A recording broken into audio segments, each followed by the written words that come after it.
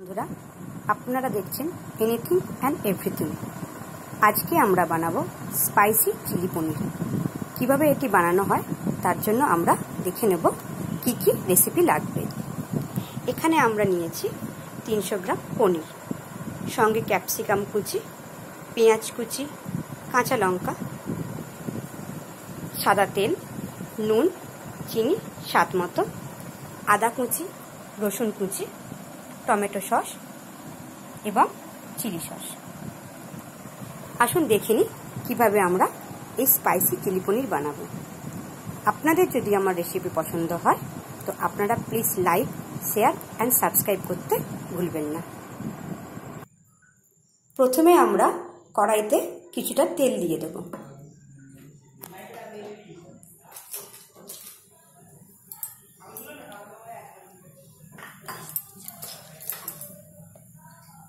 এরপর তেল গরম হলে আমরা কড়াইতে আস্তে আস্তে পনিরটা ছেড়ে দেব।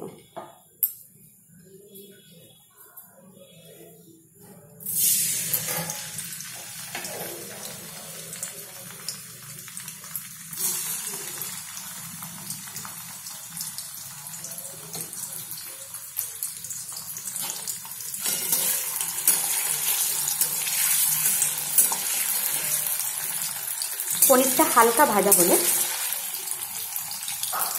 আমরা এটিকে তুলে নেব।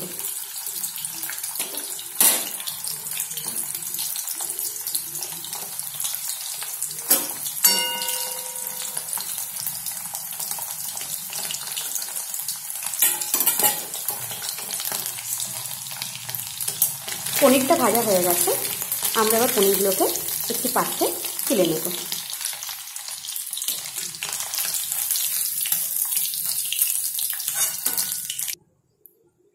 আমরা একটি পাত্রে কিছুটা জল এবং সামান্য নুন নিয়েছি।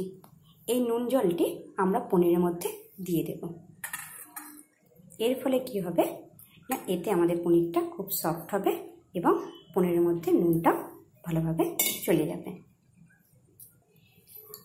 আমরা পাঁচ মিনিটের জন্য পনিরটিকে নুন জলে ভিজিয়ে রাখলাম। এরপর কড়াইতে বাকি তেলে আমরা একে একে পেঁয়াজ কুচি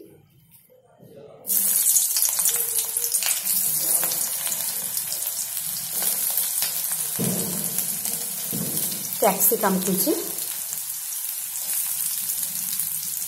এবং কাঁচা লঙ্কা দিয়ে দিলাম। এটিকে হালকা বাদামি রং পর্যন্ত ভাজতে হবে। আমরা দেখতে পাচ্ছি এটি বাদামি রং হয়ে গেছে। এরপর আমরা আস্তে আস্তে আদা কুচি এবং রসুন কুচি এতে মেশাবো।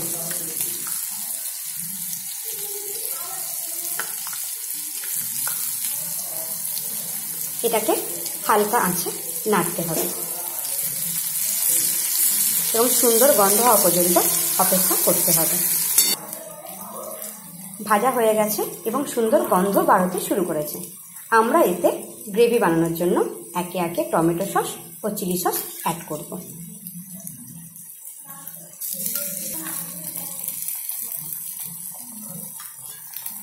এবং এটিকে নাড়ব। আমরা কিন্তু নুন অল্প পরিমাণ দেব, যেহেতু আমরা আগেই পনিরটিকে নুন দিয়ে ভিজিয়ে রেখেছি। আমার গ্রেভি প্রায় তৈরি হয়ে এসেছে। এতে আমরা সামান্য চিনি এবং অল্প পরিমাণ নুন স্বাদ মতো দিয়ে দেব।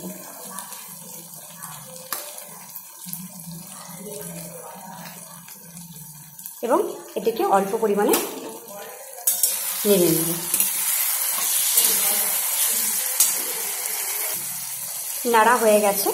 এবার আমরা পনিরটা অ্যাড করব।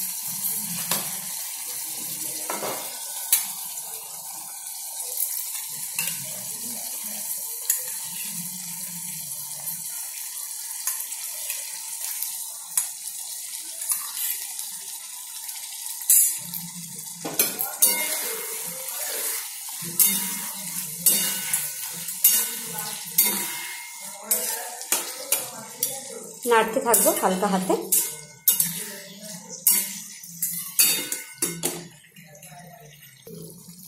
আমাদের দেখতে পাচ্ছেন পনিরটি তৈরি হয়ে গেছে।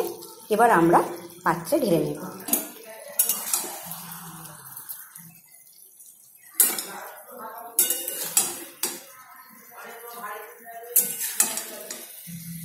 আমাদের এই চিলি পনির, আমাদের এই স্পাইসি চিলি পনির যদি আপনাদের পছন্দ হয়ে থাকে লাইক শেয়ার অ্যান্ড সাবস্ক্রাইব করতে ভুলবেন না। ধন্যবাদ।